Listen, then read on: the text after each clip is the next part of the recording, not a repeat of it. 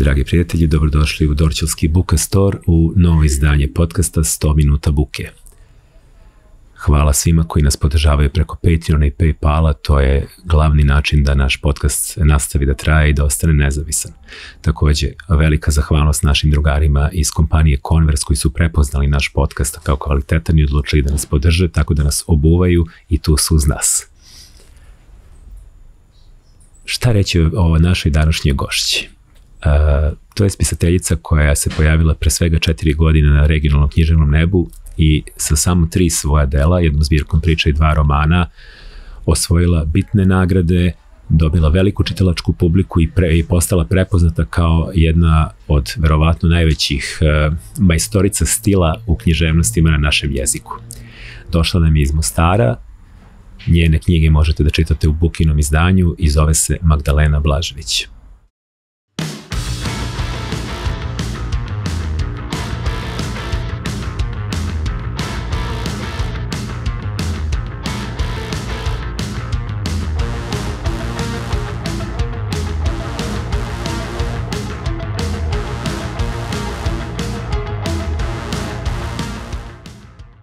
Zdravo Magdalena. Zdravo. Dobrodošla u naš podcast. Hvala lijepo. Evo, namestila si taj voditelj dnevnika Tako glas. Je, to, to je za podcaste i promocije. dobro, dobro, imaš više, imaš više glasova. Kaže, ona, ona je jedinstveni književni glas, nije ona ima više književnih i raznih drugih glasova. Magdalena, ti si nam došla ovaj, uvek je to ta kombinatorika sa, sa ovaj, gostima i gošćama koji nisu ovaj, iz Beograda ili Srbije, pa onda se uklapamo kad oni mogu, kad dolaze, kad su u prolazu. I ovo se u stvari dosta zgodno namestilo. Ti si imala rezidenciju u Bukureštu i sad u povratku ovaj, iz Bukurešta si svratila u Beograd, imali smo novosadsku promociju, večeras u trenutku snimanja ovoga a, imamo ovaj, i promociju kad se gradu Beograd, Beogradsku promociju a onda smo udenuli i ovaj podcast. Uh, aj prvo da se osvrnemo na, pre nego što krenemo na priču o tebi i tvojim knjigama, jako mi je interesantna ta tema književnih rezidencija. To je nešto što je, ajde da kažemo, jedan lep benefit a, spisateljskog posla, karijere ili poziva, kako god, pošto je redko ko baš živi samo od toga. E, otkud ti u Bukureštu mesec dana, na čiji poziv, e, kakva je to priča, zašto si išla tamo i kako je to sve tamo izgledalo? Ovo je zapravo prvi put da se ja prijavljim na rezidenciju. A, razmišljala sam o tome prije godinu, dvije, ali nisam bila spremna da, da odem od kuće. Nisam znala kako će se djeca snaći bez mene. Da ti imaš troje dece, to je da. bitan faktor. A, međutim, kad sam vidjela da postoji mogućnost da idem u Bukurešt, samo sam se prijavila bez razmišljanja. Nisi nikog pitala, ništa, ne, nisi obaveštavala? nisam. Ovaj, jer a, ja sam zapravo se u Bukureš zaljubila još u srednjoj školi dok ga još nisam ni vidjela. Mm -hmm. Prije svega malo će to čudno zvučati zbog Čaušeskog i njegovog um, a, njegove vladavine Rumunjska pod, pod njegovom vlašću bila nešto što je meni bilo toliko zanimljivo prije svega zbog književnosti jer sam um, volim čitati istočnu europsku književnost i kad sam otkrila Hertu Miller koja koja je poreklom, da. Koja je rođena tamo, koja je živjela tamo do 80, do polovine 80 i 87. čini mi se. Um, sad mi je zapravo bilo čudno kad sam tamo došla i shvatila sam zapravo da oni nju uopće ne smatraju svojom. Kako je to moguće? Ne znam kako je moguće. Pola ljudi s kojim sam razgovarala nisu uopće čuli za nju. I onda sam pomislila, dobro, možda su ovo neki obični ljudi koji uopće ne čitaju. Mm -hmm. I poslije kad sam došla u, u kontakt sa ljudima koji se bave književnošću, kulturom, um, znaju naravno za nju, čitaju je, ali ne tako kao, š, ne vide je tako kao što je mi vidimo. Ona je za njih Njemica koja je eto nekako slučajno bila u Rumunjskoj, ali ona cijelo vrijeme piše isključivo o Rumunjskoj o vladavini pod Čaušeskim i tad sam se potpuno zaljubila u njezinu književnost i odlučila je moram otići tamo, ovo je bila izvrsna prilika zato što sam mogla provesti mjesec dana. Nije isto otići na tri dana, vidjeti tri muzeja. Ti nisi bila turistkinja, ti si bila zaista, Točno. si živjela tamo mjesec dana. Jesi, i to je bilo još interesantno što sam dobila stan, živjela sam u sveučilišnoj knjižnici. Dobro. Ogromna zgrada u samom centru Mislim, sve, sve u Bukureštu su ogromne zgrade. Istina, istina. Samo sve megalomanski. Ist. ovaj, to je onako bilo prezanimljivo, pogotovo nedjeljom, jer sam tad bila sama u, u toj cijeloj zgradi. Nigdje nikoga, ispred samo dva psa. A, moja ideja je bila da kad odem da sjednem i pišem kao ja ću sad tamo napisati cijelu knjigu. To se nikad nije desilo. To se, to se nikad nije dogodilo, da. ali ja nisam bila toga svjesna. Tek kad sam a, došla i kupila sam se, odnosno izvadila sam se onu karticu da bi mogla pisati baš u knjižnici, da budem okružena samo knjigama, tišinom i tako dalje. Ja sjedim tu i ne mogu pisati jer znam da je napolju Bukurešt, moram istražiti grad, imam toliko toga za vidjeti, a pisati mogu i kući. Pa to je, mislim, jedini ispravan, to je onaj Točno. sistem, ne znam, Valjarevićevo koma. Da. Da. Sigurno nije napisao tamo, nego kad se vratio u Beograd, a tamo je upijao sve to. Točno.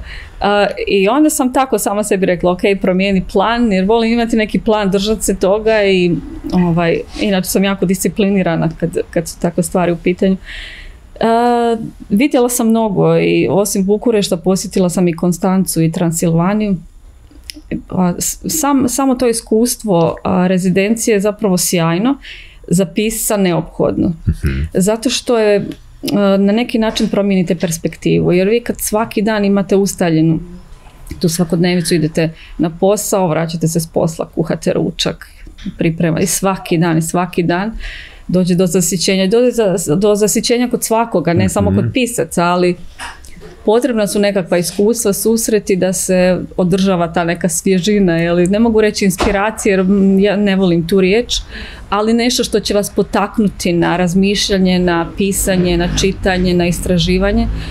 I tamo sam željela biti izložena sadržajima kao što su rumunjski filmovi, rumunjska književnost, otkrila sam Mihajla Sebastijana po prvi put, recimo Anu Blandijanu, sjajnu pjesnikinju, um, neke nove filmove, muziku, Mariju Radukanu.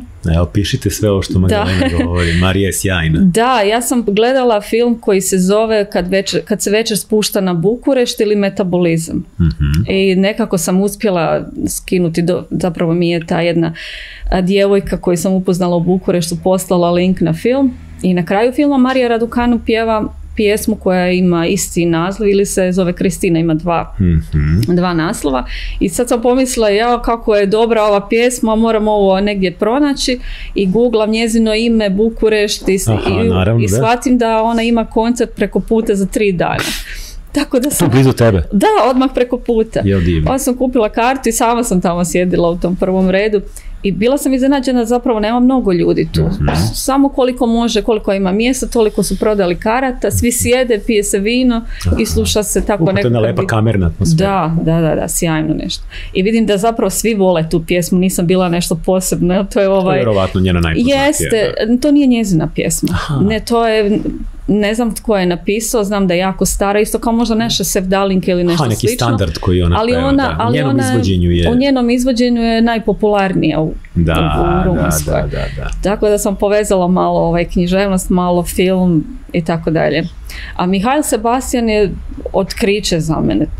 A, Čitala sam ga na engleskom. savremeni pisac? Ne, ne. A on je uh, židov u, koji je živio za drugog svjetskog, za vrijeme drugog svjetskog rata u Rumunjskoj. Mhm. Preživio je rat i 45. je poginuo na ulici, pregazio ga kamion. A jo, kakva sudbina. 45. Da, kad je sve već bilo gotovo. Da, on je imao tada 38 godina i čitala sam naravno u prijevodu na engleski jezik, izvrsnom prijevodu. Tako da sam nekako otkrila sasvim novi svijet. Napisao je zbirku priča, samo četiri priče koje se, zovu, koje se zove Žene i mm, For 2000 Years. Ne znam točno kako je kod nas, kako ide, kako ide prijevod. Jel prevođen na naše jezike? Um, pa ja sam se nadala da je preveden na srpski, da ću ovdje naći neke knjige, jer na hrvatskom nisam pronašla ništa. Mislim, isti je Iskreno, jezik, iskreno nego, nisam, nisam e, čuo, da. naši, naši izdavači ga nisu objavili. I rekli su mi da su ga i Rumuni otkrili tek kad je preveden na engleski jezik. Što nije, nije, niko Da. nije prorok u svom selu. Da, da, da. Pa evo, sretna sam zbog tih nekih stvari ovaj, A kad mi otkrijete ljude, da li si tamo, rekla si mi da ti je trebalo ipak neko vreme naravno i da si u nekom trenutku uspjela i da upoznaš neke interesantne ljude i da napraviš neke konekcije. Kako Mhm. si još došla od tih ljudi i ko su oni? A, Joana Grunwald je bila kao recimo zadužena za mene, da se pobrine za mene i ona me povezala sa, um, sa to bi bio urednik uh, časopisa Matka. Mhm. To je književni časopis, jedan od najvažnijih u Rumunjskoj Bukureštu. I oni će objaviti intervju sa mnom, nekoliko priča će prevesti, što je sjajno. Kako ne? E, I onda ide nekako lančano. Aha. Onda uz- upoznate njegovog prijatelja, prijateljicu, suprugu koja tako je fotografkinja, koja radi za matku, radi intervjue. Onda ona vas upozna sa druge dvije prijateljice i tako dalje. ljudi Tako da iz kulture. Ali sam njih upoznala tek pred kraj, tek o, negdje deset dana prije nego što Nažalost, ću da. krenuti kući. A ovo prije sam istraživala sama, lutala gradom i više sam razmišljala o tom svom novom romanu koji pokušavam, za koji pokušavam napraviti nekakav e, koncept, strukturu. Imam cijelu priču, ali e, koncept je nešto što je najvažnije. Mhm. I otkrila sam na jednom trgu, imaju buvljak, jeli prodaju se neke stare stvari. To je kao neka otvorena starinarnica. I jeste. Ne, ne buvljak u ovom našem smislu, da se- Ne. nego baš, Ne, baš ne, pravi ne. onaj francuski buvljak. Točno, točno. I u nekoliko kutija su bile stare fotografije pisma i tamo na jednom stolu onako neke fotografije koje su baš jako stare i one su kao malo skuplje. I tu sam zapravo pronašla fotografiju svoje junakinje za koju sam tragala. Ja volim kad pišem da imam fotografije svojih likova, Dobro. A i u novom romanu imam ženu koja mi je poznata, jednu koja mi je potpuno nepoznata, koju istražujem u arhivima, još uvijek iščitavam, kopam, pokušavam pronaći podatke, imam dvije, tri knjige koje mi mogu pomoći i onda sam naišla na tu fotografiju. To je bilo sjajno. Mhm. E, Fotografija iz 32. baš onako kako meni odgovara, ona je u tim godinama koje meni odgovaraju. Sve se nekako Prepoznala si je čim si je videla. Točno, da. A, kupila sam možda 15 tih fotografija koje su sjajne, neke su stare preko 100 godina. Imaju čak i onaj okvir starinski da, sve. da, da, i- i, e, naziv fot, fotografa, fotoradnje u kojoj je pravljen, kao kod nas što je bilo. Da, ima tamo sve pečat kao, je, Jest, da je jest, sjajno. jest. I oni to prodaju baš onako, čini mi se kao da je netko e, pokupio stvari iz istog stana, jer sam kupila i neka pisma i sva su naslovljena na istu osobu, jel? I onda su, pretpostavljam, i fotografije iz... Kako bi rado prevela ta pisma, jel da? Pa već jesam, da. Stvarno? E, pa da. Kucala si u Google, I pa, kucala sam, a ima ona aplikacija koja prepoznaje rukopis pa vam prebaci odmah u... pa fantastično. Malo je teže s rukopisom, ali a, djevojka koju sam upoznala mi je pročitala to onako da, pa mi prevela. Divno. Mislim, sjajne stvari. Ja sam se nadala da će to biti nekakva ljubavna pisma, međutim netko je pisao svom šefu. Prozaika neka, da. Da, ali pišu o tome da, m, e, da trebaju objaviti e, članke u književnom časopisu, sve Oho, nekako je vezano za... da. Jeste, jeste. Tako da sam ponijela sa sobom i tako nekakve uspomene. Ah, te dobro, vrste, dobro. da. Znači, Bukurešt je lepo iskustvo. Sjajno. Odlično, odlično. Sad si, sad si ga istražila, sad ga znaš, sada, sada si domaća tamo. Ljepši je nego što sam očekivala. Da. Bukurešt Mnogo je spektakularan zapravo, njega su nisu džabe zvali Parizom istok. Ma da, ali čini mi se da ljudi imaju predrasude kad kažete da idete u Bukureš, ostaćete tamo, ja pa šta ćeš tamo, Mislim, ljudi ne znaju, ali to je grad od Ne 3,5 znaju. miliona stanovnika, kao dva Da. Beograda. Točno. On je građen po uzoru na Pariz, on ima delove koji zadije kao Jelisejska polja sa triumfalnom da. kapijom. Drugo, taj, taj, taj izgled tih starih vila, to je nadrealno. To mi ni ovde nikada nismo videli, to može da se meri zaista sa onim u Parizu i u Rimu i slično. E, meni je Rumunija isto interesantna, ja sam nešto davno poslom dosta išao tamo i, i poslovao sa njima i moje iskustvo sa njima izvanredno. Oni su jako vredni, odgovorni ljudi, vrlo često poliglote, zato što njima učenje romanskih jezika ide jako lako, Jeste. isti je koren, Mhm. a pritom su dosta učili nemački u školi, pa ga gotovo svi govore, a engleski se podrazumeva. I nekako, moje iskustvo sa njima je bilo da su u početku malo nepoverljivi, međutim kad steknu poverenje i kad krenete da radite, to sve bude izvanredno. I taj podsednjivački stav prema Rumunima koji datira još iz tog vremena Da. Čaušeskova, kad smo mi išli tamo pa za male pare kupovali ne znam šta, to je naravno davna prošlost. Davno Rumunija nas je prešišala odavno i ekonomski i kulturno i još uvek spram tih istočnoevropskih e, kultura, mi ovde gajimo neo, neopravdani kompleks više vrednosti. Prvo mi se ponašamo kao da smo i dalje Jugoslavije, pa da nas ima 20 i nešto miliona ne ove atomizovane čestice, a drugo, e, evo iz iskustva da znamo koliko je rumunski film velika stvar sada, Ali ja znam iskustvo da koliko su ljudi negde blago nezainteresovani i posljednjivački se odnose prema književnosti iz istočne Evrope.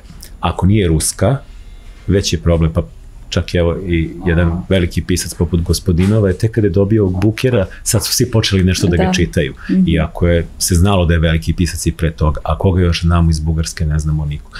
Od savremenih rumunskih pisaca ne znamo nikog čak iz, evo, iz mađarskih savremenih pisaca isto ne mogu da kažem da, da, da je ovde iko popularan. Tako da možda Poljska, ona tu i tamo iskoči opet zahvaljujući ovaj Tokarčuk, Tokarčuk ili još par, par ovaj, ili Stasijuku ili tako par, mm. par pisaca i spisateljica, ali znači Češka, evo ti Češka, Slovačka, dakle zemlja nekog kundere i slično, sve to sada nama, nama nebitno i čini mi se da ovaj da bi možda mogli malo da da istražimo da poradimo to. na to. Pa vidi, ali bliske su nam teme. Pa, I ja, ja pretpostavljam da si ti s tim ljudima imala ovaj, i nešto si spomenula da ti je bilo jako interesantno što su ti ljudi ispostavilo se da slušaju istu muziku, gledaju iste filmove, čitaju iste knjige kao ti. Pa zapravo meni se činilo da je to nekakva divna slučajnost upoznati a, djevojku koja voli iste knjige, čita, iste, čita istu književnost, gleda mm -hmm. iste filmove kao da pronađete svoju srodnu dušu negdje. Aha. I onda kažete sebi, pa dobro, ovo bi mogla biti moja prijateljica da živim ovdje. Tako je, tako to su sjajne stvari, da. I naučite nešto od, od drugih ljudi kad upoznate nekog iz druge kulture. A što, e, e, si uhvatila neke kulturološke razlike? Kulturološke? Pa nisam dovoljno upoznala njihovu, nisam imala prilike da ih dobro upoznam kad se družite samo s tri osobe, teško je. Mhm. Jed, jedan dan sam stajala, čekala sam nešto i pola sata sam stajala na ulici, promatrala ljude. I jedino što sam uočila da se svi bez iznimke krste tri puta pored crkve. Iako ih čeka autobus, apsolutno ovo je bilo... Ima onako, toga i ovdje. Ima i ovdje, ali to nije bilo baš onako, kao, ovisi kao je li koji je važni svetec, tu se mora stati. Ali. Uh-huh. I onako sam baš promašala, bilo mi je zanimljivo to vidjeti. Mlađi, stari, svi se krste tri puta bez, bez iznimke. Moje iskustvo je bilo sa taksistom koji je, ovaj, kome je visio veliki krst koji me povezao sa Bukureštanskog aerodroma i vozio me do hotela. Visio mu je ogroman krst sa, sa retrovizora kako smo prolazili pored neke crkve, on se krstio. U isto vreme je govorio kako je bilo bolje u vreme Čaušeskova, a onda mi je naplatio tri puta više nego što je, što je trebalo. da. isto kao kod nas. Isto, znači tako da sam se, pričali smo o hrani, znači njihove sarmali, Hrana sarme, isto, da. kad čuješ muziku, to su sve ono, Tozovac iz Vorinka Milošević i slično, dakle, tu, tu postoje i ima one stari, stari, stara priča koja je zaista istinita, da je to, da je to jedina susedna zemlja s kojom Srbi nikad nisu ratovali i to je baš, baš ovaj dobro. Tako da, eto, ovaj, treba, treba negovati ovaj, prijateljstvo sa, sa Rumunima. Sad kad se vratiš kući, jel te čeka rad na toj knjizi? Čeka me rad na knjizi, da.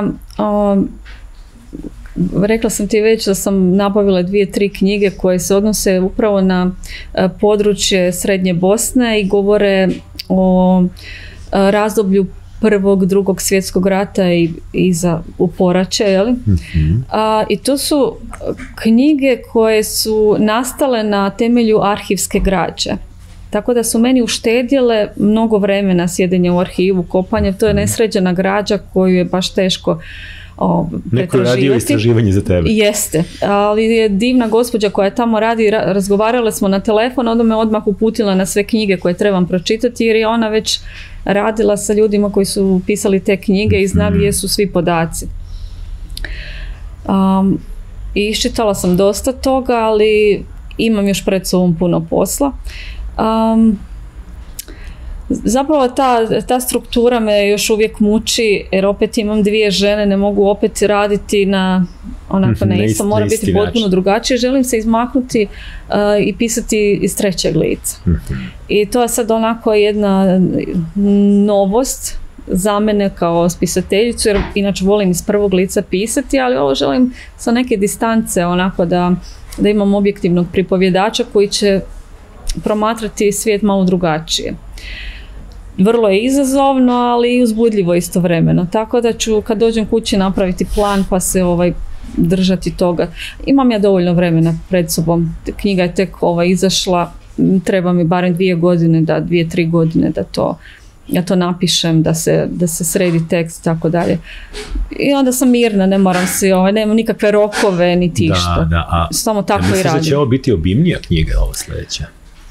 Pa to još ne znam, dok ne počnem pisati da vidim kako će ta poglavlja izgledati. Imam još jedan rukopis kratkih priča koji nastaje već tri godine. Imam 12 priča, još mi treba toliko. I ove zadnje priče koje sam napisala potpuno su drugačije od prethodnih. Imam Sad osjećaj problem da... koncepta nekako da ih spojiš, ne samo, teško? ne, ne, nije u tom smislu, nego sam ja mnogo hrabrija kao, kao autorica. Sad imam kao više samopouzdanja i Da vidiš razliku? vidim razliku. I sada te priče koje su nastale prije tri godine moram ponovo napisati. Više nisi njima zadovoljna zapravo. One Ne- su ok, ali ove koje su nastale u zadnjih pola godine su mnogo bolje. I osjeća se razlika. Osjeća nekako, se da. razlika i onda želim da to, da, da ih ujednačim, da, da, da ih popravim na. Dobro, još jedna zbirka priča je fina, kao kažem, fina, fino da popuni do sljedećeg romana, možda bi to Jeste, moglo biti a, rješenje, da. Kratka priča, ono što je o, moja prva ljubav. Ja kad pišem kratku Ti priču, si ja- počela sa zbirkom Jesam, priča. točno znam je li to dobro ili nije. Mhm. I zapravo mi ne treba ni potvrda da mi neko kaže "E, ovo ti je priča dobra, ovo nije. Točno znam što je dobro, što nije. Dok je s romanom malo drugačije. Roman je ambicioznija forma i duža E, i strukturalno zahtevnija. Pa jeste i kad tre- treba vlazi malo, malo većim tekstom. Mhm. A, I kod kratke priče najviše volim to što ne, ne smijete i ne možete pogriješiti. Ona je kao poezija, imate um, određeni, određeni prostor, Mhm. a, nema rukavaca u koji se možete izgubiti pa se vraćati. Svaki lik tu mora biti s razlogom, svaki motiv mora biti tu s razlogom i nema puno likova. U kratkoj priči ne možete to izvesti. I ja volim kad je to sve tako uredno, kad mogu to sagledati onako cjelokupno i da znam da, da nema da nema grešaka. S romanom je malo teže, iako ja i, i u romanu pišem kratka poglavlja, Mhm. to je najviše zbog mog jezika koji ja koristim.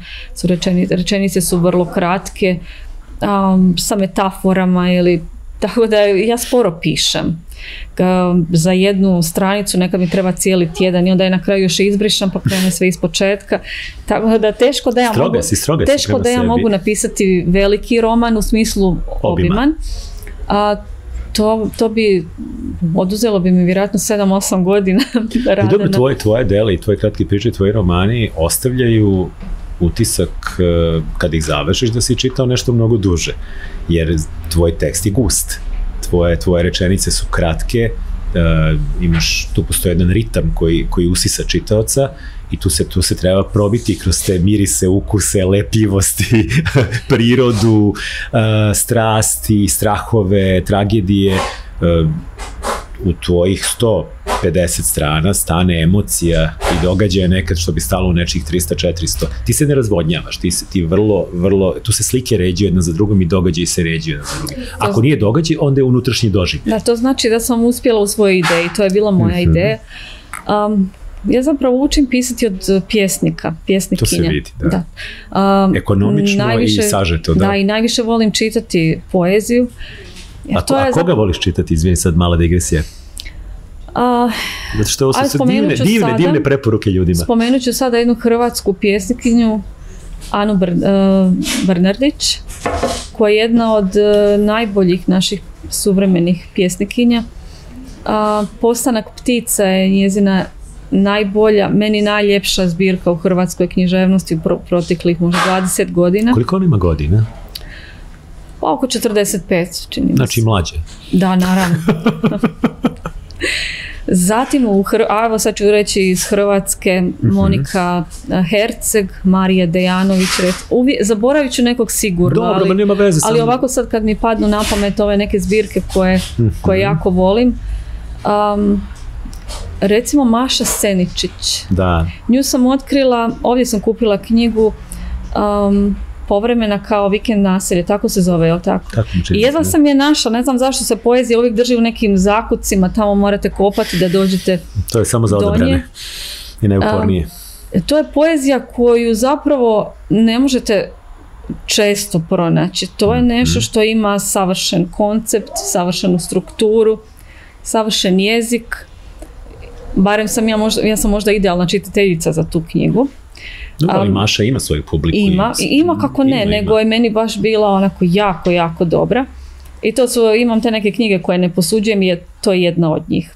Tako da ovaj, um, što se tiče svjetske književnosti, a, jako volim Šimborsku, Mhm, mm, Cvetajevu, Da. Opet isto, istočna Evropa. Carvera volim Uf, recimo. dobro, Carver je. Da. I kratka priča i poezija. Kra- Od njega se baš može učiti. Može. A, e, njega volim zato što am, on piše mm, o nekim jednostavnim, običnim stvarima, ali na takav način da vas to pogodi da vam da dođe vam da plačete. jeli? Mhm. I onda se divim toj genijalnosti kako pisati o običnom danu, običnom događaju na takav način. Ja to ne znam, recimo ne pišem na taj način, ja uvijek moram imati priču koja ima početak, sredinu, kraj, dramu i uživam u tome, ali volim kao čitateljica volim uživati u književnosti koja piše a, nekim svakodnevnim A jezikom. Čehov? Čehov? Pa, nisam Čehova toliko čitala a, da, da bih ovaj, sad rekla da sam njegova najveća obožavateljica i da mogu pričati o njegovim dramama, Mhm. a, njegovoj književnosti. Mm, ako ću već govoriti, onda ću radije izabrati nekoga koga mnogo više volim i mnogo više mhm. čitam. Neke autore koji su jako važni, koji su klasici, neke još nisam ni pročitala. Pa dobro, ima ih toliko da ne možemo stići i- sve do sve. I ostavljam ih za neko vrijeme koje možda još mm, koje tek treba doći. Mislim, vi kad čitate, evo uzet ću recimo Anu Karenjinu kao jedan od najvažnijih romana svjetske književnosti. Mhm. Kad ga čitate, u, ja sam ga čitala u šestom razredu, pa u srednjoj školi, pa na fakultetu, pa Jel svaki put bila dru, svaki, put, svaki put je to drugačija priča i svaki put je odnos prema likovima drugačiji. Ne znam, kad razgovaram sa svojim sinom, on će osuditi Anu i reći da je preljubnica i da zna šta je učinila, dok ću ja baš dobro Braniti, shvatiti. ti ćeš da. je braniti, da. Točno. Mislim, to tako treba, ovaj, treba Mhm, biti. Pa nije, zato što knjige, knjige ove se menjaju sa nama kao čitaocima. Kako mi sazrevamo, tako prodiremo u strukture knjige koje su nam ranije bile nedostupne. Da, čini neke knjige treba ostaviti za kasnije. Recimo, Majstora i Margaritu nije dobro čitati prerano. Zapravo možete čitati neke dijelove, ljubavnu priču ćete jako dobro razumjeti, ali ove Neke druge će vam neke ostati skrivene. Točno, ali kasnije otkrivate neke druge važnije možda Mhm. a, slojeve te, te knjige. Tako da Čehova za sad, o Čehovu stvarno ne mogu ovaj, Zato što često ga navode i kad pričaju ovaj, o, o, o, o uticaju na kratku priču i slično, onda je, Da. onda je često navođen, pa mi je to bilo interesantno. A ovaj, od savremene regionalne književnosti, od proze, e, šta ti je tu interesantno? Šta pratiš? Ko su ti omiljeni autori i autorke? Svašta čitam, sve što izađe pokušavam da, da, da ispratim, pogotovo kad pišu žene. Pa da, da to te i pitam. Da. o, Jer jeste zadatak skrenuti pažnju na, na žensku Da. književnost. Um, evo krenut ću od recimo od Monike Herceg. Mhm. Sa, ona je počela sa mm, početnim koordinatama Mhm. i to je zbirka pjesama koja je jako, jako dobro prošla, prevodi se na mnoge strane jezike, svjetske jezike. E, ona me je odmah kupila temama koje su meni toliko bliske. Čini mi se kao da smo odrastale o, jedna uz drugu. jel? Mhm. Mislim sve to je jedan isti teritorij, da se Jest. razumijemo, isti, ista kultura, I ista generacijski povijest. ste blis, bliski. Točno. Marija Dejanović ima sjajnu poeziju. Da, opet ja o poeziji, evo. Dobro, pa to Ali, vuče, ali ona da. piše i roman i, i sigurna sam kad, kad žene, odnosno pjesnikinje, napišu roman, ja to moram pročitati. Recimo Tea Tulić je napisala Strvinari starog svijeta, to je nova knjiga koja je izašla. Pročitao sam je i moram da kažem da me je jako podsjetila na tvoju poetiku. E, Pa ja sam tu baš ovako uživala, jer vidi se da je pisala pjesnikinja. Aha. Toliko motiva na, na jednom kratkom poglavlju Mhm. i ona piše o nečemu što meni nije toliko blisko, recimo to su e, to primorje. Jel? Mhm. Ja živim blizu mora, ali to nije moj svijet. Ja sam Da, da, rođena u srednjoj Bosni, to je potpuno drugačija klima, drugačiji Mentalitet. a, mentalitet. Da. Ali ona to radi na tako dobar način da odmah sam je morala pozvati da joj, da joj kažem koliko Bravo. je dobra knjiga. Da. Karakaša jako volim čitati. također. E, Karakaš isto negde mi je blizak tebi, jer Karakaš kako napiše novu knjigu, to je još svedenije, još, još više došao do neke esencije koju je jurio. Da, vrlo je suptilan. Jako, jako, jako jako. I, i sa, svi viškovi otpadaju sa njega. I, I kad smo pričali, nas dvoje, Mhm. on je jedan od pisaca koji uvijek dođe na promociju. Jest. I kupi knjigu Jest, i podržava, podržava kolegi. to je stvarno izvrsno. Što je inače redko i čini mi se malo bez veze, to primećujem i ovde. Ja sam se na književnim promocijama najmanje pisaca viđam ili recimo na književnim festivalima. Dođeš na krokodil na kome si ti učestvovala i znaš kolika je tu masa ljudi, a ja u toj masi ljudi vidim možda uh, jednog književnog kritičara i tri pisca. Da, I pitaš se šta oni pametnije te večeri imaju da rade nego da gledaju vodeće regionalne, domaće i po nekog velikog stranog pisca. To je, Točno. meni, to je meni uvek bilo fascinantno, ta neka čudna ne, nezainteresovanost za ono čime se zapravo baviš. Pa možda je tako u većim gradovima, u, u manjim se ne događa mnogo toga i onda kad se nešto događa svi dođu na. Pa dobro, to jest, To je- to to je jest, ovaj to jest, to jest. I dok smo razgovarali, o, shvatila sam da zapravo čitamo knjige na isti način. Jel da? Čitamo knjige pa ovaj, zaokružujemo neke riječi ovaj, Jel koje su nam interesantne. E, da. Jer ja imam čak bilježnicu u kojoj pišem riječi koje su mi onako zbog nečega zanimljive, koje bi mogle biti dobre za neku Možda ih sliku. upotrebiš posle. Možda da, ih Pa Dobro, da. znači to je neka vrsta i učenja i preuzimanja. On to radi isto, pa, pa nam je to bilo ovaj, zanimljivo. Zatim Kristijan Novak, je li, koji je najveća književna zvijezda u cijeloj regiji. Kako se to dogodilo? Jedan Pa- tako normalan, običan dečko koji ima svoj neki... Možda baš zato. Da, ko, koji je pritom, šta, on je veše šta neki karatista čuveni. Jeste sportaš i profesor I, i profesor i jedan onako jako skroman i normalan dečko, mislim i sve. I, i vrlo duhovit. duhovit, ali i povučen, onako nije on sad nešto za Nije. eksponiranje. Nije li to u dogodilo pitanju se- dobra književnost? Da. Ja sam prv, prvu njegovu knjigu koju sam pročitala bila je Črna mati To zemlja. je mene, to je mene pregazilo. Točno, da, isto. To je sve, to je, to je aktiviralo gomilu nekih mojih detinjih strahova, trauma, Da, upravo. progovorio je Da. jezikom koji sam ja, koji je na prvi pogled bio nerazumljiv, ali čim sam ušao u taj njegov međimurski, Mhm. ja sam počeo da ga razumem kao da sam rođen tamo i to me baš, baš, baš me ta knjiga recimo pogodila i evo, vi- više puta sam ponovio da je moja ogromna greška što je nisam objavio zato što sam se plašio da je ovdašnja publika neće razumeti. Da. I pocenio sam publiku Mhm, zapravo. Ali dobro, to, to, to, su, to su normalne greške. Pa mene A kakav je zapravo- novi? Kakav mene- je novi roman? Nisam ga pročitao. Meni je bilo strah da, da će mi se pokvariti taj dojam, da sam Dobro. ja čekala sedam godina da pročitam njegovu drugu knjigu. A, Ciganin ali najljepši. Da. Dobro. I nju sam pročitala tek prije pola godine. Mhm. I? Bila mi je toliko dobra da e, nisam znala šta da učinim s tom knjigom kad sam završila, da je sada zagrlim ili da plačem ili da je E, da ideš bacim napolje, negdje. da ljudima guraš u ruke. Ja to imam često taj pogled. Znate li vi da ovo postoji? Zašto ovo ne čitate? Tako je, tako. Ja to imam i s filmovima i s muzikom, da. e, Ću, još čekam da je pročitam jer ne, previše bi mi bilo da ga čitam jedan, jednu knjigu za drugom. Dobro, da. Mo- Moram Moram malo da- napraviti malu pauzu. Mora da te pusti ova prethodna. Točno, ne, ne mogu odmah onako da, da ovaj, bit će mi previše. Mhm. Tako da ti ne mogu reći ovo, E, dobro, sigurna dobro, sam dobro. da je sjajna. Planiram, planiram i, i čekam ga da dođe u Beograd da ga dovedem u podcast. Mhm. smo komunicirali više mailom i jako, jako je fin, jako je, jako je ovaj, drag, drag ovaj, ali nismo se nikad zvanično upoznali. Mhm. Bio sam ovdje u Beogradu i na promociji kad je imao, ali je bila gužva i nisam teo sad da, se- da se guram da se upoznajem, ali čekam ga, eto, da, da, da, dođe ovdje. E, Magdalena, ti si rodom iz jednog malog mesta. Baš malog, da. Kako se zove? Žepče je se, to Žepče, je aha. mali gradić pored, možda evo prije će znati Zenicu nego E, ovaj, pa dobro, Zenica pored već... Zenice, nekih možda pola sata u Božini od, od Zenice, u središnjem dijelu Bosne. Da. Hmm. Čekaj, ste ti Đurđica Čilić rodom negde relativno Jeste blizu? možda nekakvih 15-20 km, možda i više, ali pola sata recimo. Ima tu, ima tu isto nekih dodirnih Ima, tačaka. da. Ona mi je jedna od omiljenih osoba Jo, koje sam Đurđica je, upoznala. Da. Đurđica je divna, divna, Da. divna. I ona je, vas dve ste zapravo držite rekord najveće posete u ovoj knjižari kad su bile promocije. Očigledno ima tu nešto oko Zenice. Nadam se. koliko, je, koliko, koliko je tvoje rodno mesto bilo? Malo. Ja sam zapravo odrasla u jednom malom selu pored To čak nije... to nije ni taj mali ovaj Aha. gradić, nego jedno malo selo koje zapravo nije ni selo, nego je i malo mjesto koje je bilo prije rata izletište.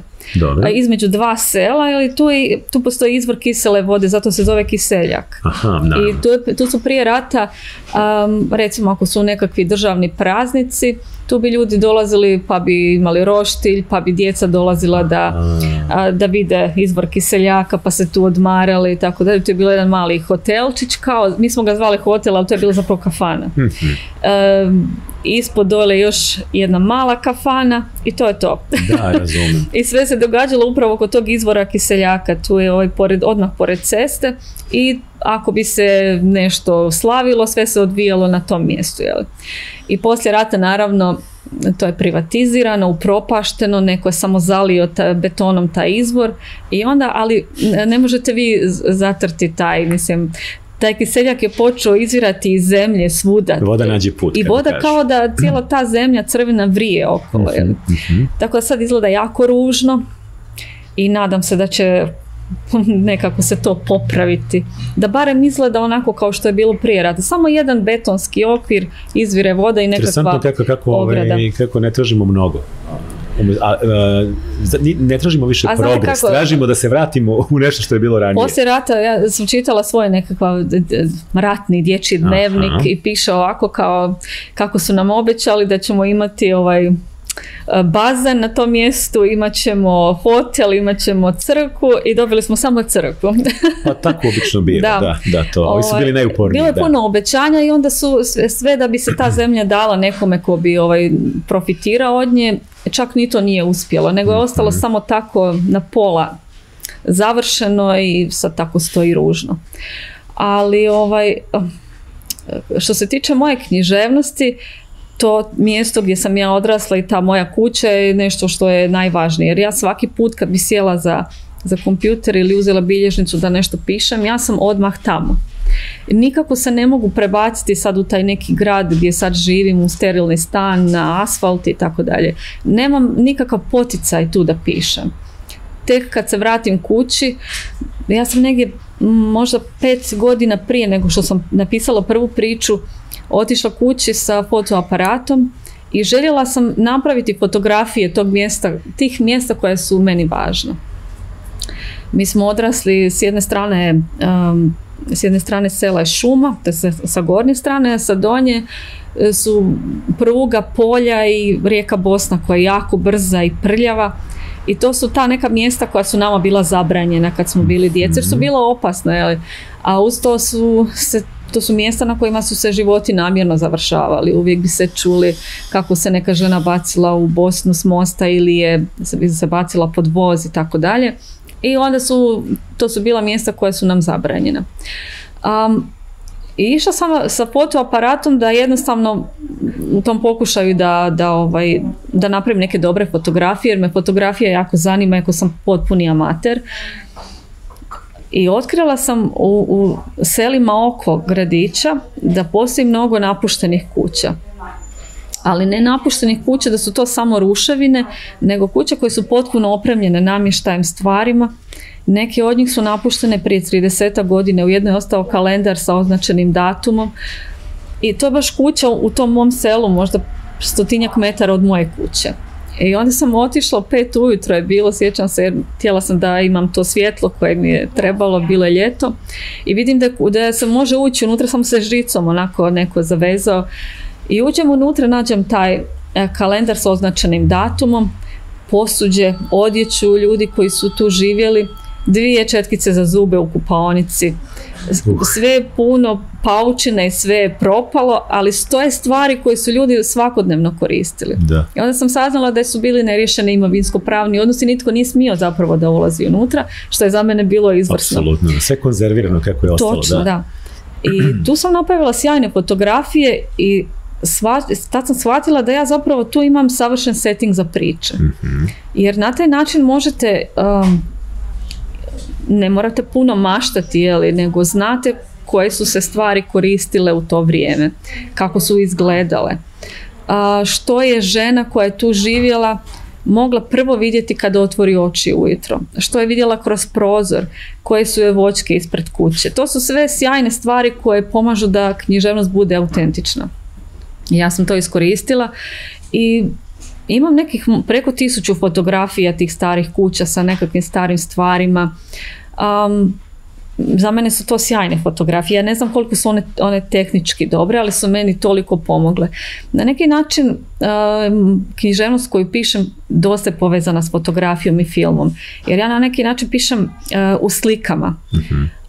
I slike su ono što je meni jako važno. Kao da imate fotografiju pred sobom i sad je onako književnim jezikom ispišete. Osim toga, kad sam shvatila da je to jako dobro za, za mene kao autoricu, dobra priprema za pisanje priča, a, razgovarala sam i sa ženama koje tu žive. I one imaju sjajne priče. Mislim, to je to, toliko nevjerojatno. Ima nekakvih desetak sati njihovih, ajmo ih nazvati iskazima, jeli? To, tog što su one imala reći o, o svom životu i životima drugih žena kojih više tu nema. Tada sam shvatila da ja moram naučiti razlikovati što je dobar materijal za književnost, a što je samo dobra priča koja ne funkcionira na papiru. Jer nekad... nešto, nešto može da se uklopi u književnost, a nešto je čista dokumentaristika koja ne radi Ne u smislu dokumentaristika, nego čujete dobru priču, zvuči uzbudljivo, ali na papiru ne funkcionira. A zašto? Šta je Zato što je stvarnost nevjerojatna. Neka deluje i pretjerano. pretjerano, da. I tu, tu sam shvatila da je moram Naravno da ću se koristiti vlastitom maštom, ja sam da. pisac, to, je, to bi trebala biti moja, moja zadaća.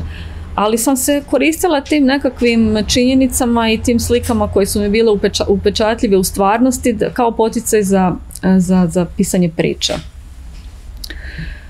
A, tako da sam povezala na neki način fotografiju, književnost, možda i film. mm a već se neki su se već počeli interesirati za te kratke priče kao za kratke filmove. Aha. pa se nadam da će ovaj od toga biti nešto. Bilo bi to sjajno napraviti kratki film prema, prema jednoj kratkoj priči. To bi bilo baš ovako uzbudljivo da. Koliko je ratno iskustvo uticalo? Zato što dotičeš se jako puno rata ima ga, naravno u tvom prvom romanu je on dominantna tema, u ovom drugom romanu on je u jednoj priči jako bitan, u drugoj imamo eho toga. Mm ti si bila dete kad je rat počeo, imala si 11 godina, ja mislim. E, imali ste, si imali period nekog izbeglištva i, i, i kako je to izgledalo? Uf, gdje početi? pa da, um, mi smo zapravo cijelo vrijeme rata bili uh, u tom selu u kojem kojem smo živjeli, mhm. osim ljeta 93. godine. Mhm. Tada je bilo baš opasno ostati tu jer je iznad sela, već sam spomenula, ta šuma gdje je ta linija razgraničenja bila na neki način, nam reći šuplje, ali moglo se ovaj dolje ući u selo. Onda smo se preselili u selo preko rijeke Bosne. Tamo je bilo mhm, mnogo sigurnije. I to je godina u kojoj smo živjeli bez tekuće vode, bez struje i bez ikakve zabave. Kad ste dijete, rat je prilično dosadan, jel? Nemate apsolutno nikakvu mogućnost da negdje odete, da nešto radite, ali to nas je natjeralo da čitamo. Zapravo mene je natjeralo da čitam. Kad smo boravili u toj kući preko, preko rijeke Bosne, ona je kao izgledala super, na izgled zato što su tu živjeli ljudi koji su radili u Njemačkoj. I onda su oni imali sve stvari koje mi nismo imali. to su kao bili fini tepisi, bilo fini namještaj, e, posuđe, doduše svo to posuđe su bi zaključali u neku posebnu prostoriju da mi ne možemo to koristiti, nego smo imali dole nekakve iskrivljene kašike i ostalo pa smo donijeli svoje. Ovaj, I u, u kući nije bilo ni jedne knjige, samo neki časopis na njemačkom jeziku i jedan dan moj tetak dolazi s ratišta, ali on bi navečer nekad svraćali kući da jedu, da se presvuku i tako dalje. I donosi na gorilu knjigu uh, La još zilahi zarobljenici. Dobro. I naravno daje meni jer niko drugi nije ni htio. I sad ja imam knjigu, ja tu knjigu držim ispod jastuka i prvi put čitam knjigu za odrasle. Uh, i čitam prvi put zapravo ljubavnu priču između e, Petera i Mijet, valjda se tako izgovara na, ovaj, na mađarskom Peter, jel? I to je zapravo bio način da nekako dođemo do nekakvog sadržaja ljubavnog pa i seksualnog. Ja, Ispred- ne razmišljam da i postoji oskudica i toga. I toga, da. Ispred kuće je bila jedna velika žalosna vrba i ona je nama služila kao mjesto za igru, kao šator, je li bio Jes, to... malo si skriven Da. tu nekako. I uz to sam ja imala jedno janje, mislim to zvuči kao, ne, kao iz neke priče, ali smo ga, poveli smo ga sa sobom kao poješćemo ga ja belo janje. Točno. I onda ja tu čitam ispod te vrbe, tu je to janje pored mene i kad bi ja došla do nekakvih tih dijelova koji se tiču seksa, onda bi sva djeca došla i bi to pročitala na glas. Kvarila si decu. Da. I čim se to završi, oni zbrišu, ali ja nastavljam dalje. Sad su dosadni dijelovi. Da, do- dosadni dijelovi, ratni ili ljubavna da, da. priča. I tu sam knjigu cijelo vrijeme iščitavala. Završim pa krenem po- ponovo. Šta da radim? ništa Nemam drugo. ništa drugo. Dobro, ti si ipak bolje prošla od Karakaša koji je ovaj, u, u onom poljskom toaletu jer je neko iscepao nekog Dostojevskog pa je on čitao van bez reda, onako 80. pa 120. stranicu. Da nije se imalo ni toalet papir. da. Eto vidiš, da, da, da. Ovaj, I e, kad smo se vratili kući u zimu te iste godine, onda sam počela čitati sve što smo mi imali na policu. Moji roditelji su imali um, sabrana dijela Ive Andrića, Marija Jurić Zagorka, Svaka najpopularnija. kuća je imala to. Da, ruska Kompleti književnost. I što je najvažnije, um, poeziju Jesenjina. E, to je super. Da. I nedavno kad sam bila kod kuće, a, uzmem tu knjigu i piše moje ime i prezime, piše datum 89. Ja sad tad imam 7 godina. Dobro. Prepisujem sve naslove pjesama i u srce stavljam Sergej Jesenjin plus Magdalena. Kao mi smo sad zaljubljeni par jer sam ja toliko Jao. oduševljena Ti si, njegovom ti, si, ti si bila Isidora Danka njegova, da. I moja mama je od tate za 18. rođena dobila tu knjigu na, na, na tu su a, Izidore Duncan i Jesenin i on drži neku harmoniku, nešto, to je ono, to će biti moja knjiga jednom. Divno. da. Um, i mi se vraćamo u zimu 93. To je tako ružna zima, dogodile su nam se tako strašne stvari. A, pao je nekakav snijeg, a taj snijeg je crni jer svi lože sada vatru i iz tih dimnjaka izlazi Kako dim. postapokalipsa, potpuno. Točno. Da. I Mislim, ja- jeste bilo apokaliptično i- vreme u Bosni. Jeste, ja shvaćam da ja zapravo imam knjige gdje ja mogu pobjeći. To je svijet u kojem ja želim boraviti. I tada najviše Mhm. čitam Zagorku zato što me ona vodi na dvorove, na, u bogatstvo, u tamo Sve suprotno od onoga što imaš. u svijet eh, dvorskih dama, viteza. eskapizam, da. Točno. I sve moje prijateljice iz razreda su počele to čitati. Ja ne znam kako smo mi uopće završile školu, smo samo čitale knjige. Nekako smo i to ovaj, uspjele uskladiti, da.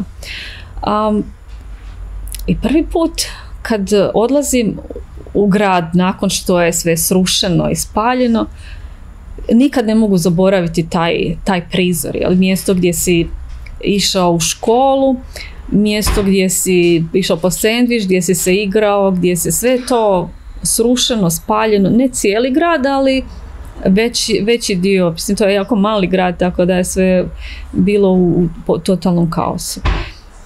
Um, Kad dolazi mir tamo, kad dolazi mir, hm, pa negdje 94. aha, 94. je već bilo kao ok, ali kad razmislite da je 95. bila Srebrenica, nakon toga je bio i Dayton u stvari. jeste, Da. ali 95. se događaju takve stvari, mi kao djeca to nis, nismo bili svjesni u tom trenutku da se to događa, tek kasnije kad odrastate, istražujete ratne zločine i sve ono što vam se dogodilo, ne vjerujete da ste vi to ljeto možda negdje se sunčali, a isto vrijeme nešto malo dalje, dva, tri sata od vas se događao najveći zločin u našoj povijesti. jel? Mhm, mhm.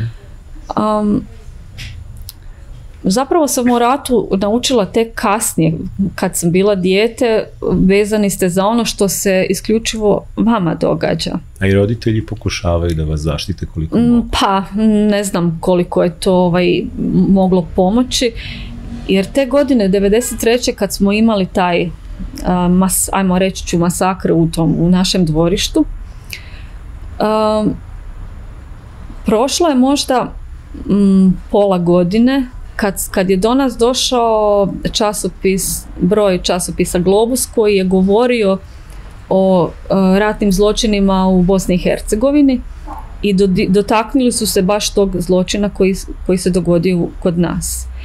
I tada prvi put vidim em, sliku Ivane to je naratorica romana Kasno ljeto iz Mrtvačnice.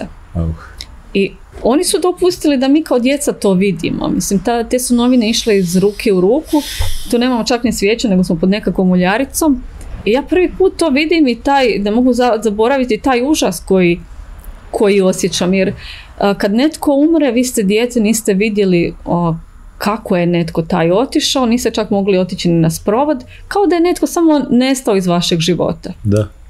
i počelo vam se događati neke druge stvari, um, djeca ste rastete, pubertet i tako dalje. I kasnije tek kad sam počela uh, pripremati se za, za ovaj roman i pisati, tad sam shvatila da je ono što se događalo nakon toga bilo mnogo gore. Mhm. Za, više za odrasle nego, nego za nas, ali i za nas.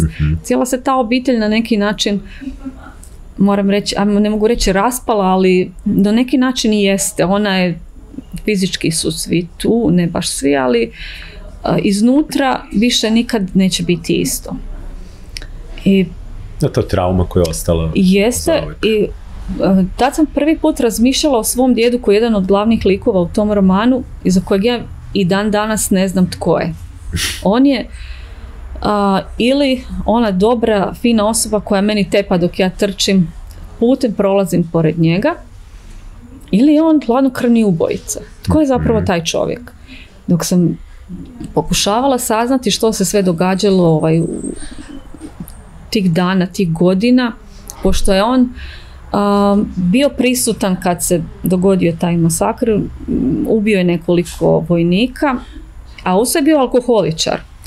I to je na njega strašno djelovalo. Otišao je doktor i tražio da se razvojači, da mu se uzme oružje jer on više nije sposoban da, e, da ratuje, da ide. Mhm. Međutim, nisu mu to dopustili, nije bilo dovoljno vojnika, on je tad možda bio kasnim 50 Dobro. i 20 dana nakon toga u kantini uh, vojnoj je ubio uh, čovjeka koji je dijelio hranu. Nešto, nije ga inače volio, bio je ljut jer kako može muškarac da dijeli hranu, zašto ne radi neka žena, a ovaj bi trebao biti uh, na ratištu i pojeo je tanjur graha i tražio još jedan tanjur i ovaj mu nije htio dati. I ovaj samo uzeo pušku, izrešetao cijelu kantinu i ubio čovjeka. I on odlazi u zatvor i dobio je samo tri godine zato što je imao dokaz da je tražio da ga se razvače, da nije sposoban da nosi oružje, uz to je i alkoholičar.